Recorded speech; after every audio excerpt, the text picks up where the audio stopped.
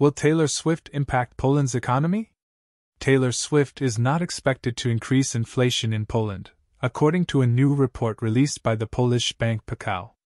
While her concerts have a significant impact on specific cities and economic sectors, on a macro level, they are insignificant.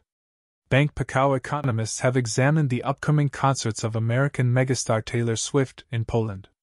They noticed that in 2023, the concepts of Swiftlation, or, more broadly, Swiftonomics, which refer to the economic impact and increase in spending by the singer's fans on the economies of the cities hosting her concerts, gained popularity. As part of the Eras Tour Tour, which started in March 2023 and includes 153 concerts around the world, the pop sensation has already traveled through Asia, North, and South America, and now she's in the middle of her European leg of the tour.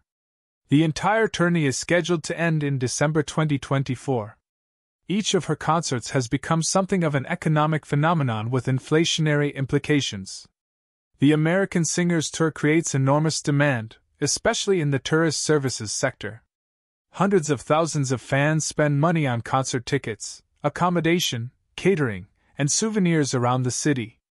They also look for interesting attractions and facilities, such as cafes, museums, or shopping centers, says Bank Pekao in its analysis. Analysts added that, according to their estimates, Taylor Swift's three concerts in Warsaw will attract tourists who can spend up to about PLN 190 million, 45 million euros, in the capital. For the countries where Taylor Swift gave a concert during the Eras tour, we checked the evolution of seasonally adjusted service inflation in the months close to the concert, both before and after, after excluding the trend from the previous months.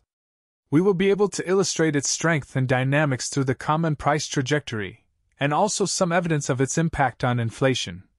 The analysis indicates. In two European countries, Taylor Swift's concert had an unmatched impact, according to the report. This is Sweden and Portugal. In the month of the concert alone, services inflation in Sweden was increased by 0.4 percentage points, and in Portugal by over 1.5 percentage points, stated the report.